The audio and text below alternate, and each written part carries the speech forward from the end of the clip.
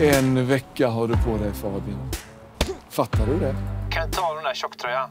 Alltså jag kommer inte visa den för någon, jag ska bara ha den för mig själv. Alltså ni fattar väl att allt som ni säger nu är rasistiskt? Är du bög eller? Varför tror du att jag vill bli strypt? Och varför vill du ens strypa mig? Jag mår fan inte bra. Alltså. Även fast det känns så i stunden så är det så viktigt att man vågar berätta för någon för det finns så mycket stöd att få. Den nya serien Skyldig har premiär onsdagen den 28 september i SVT Barn.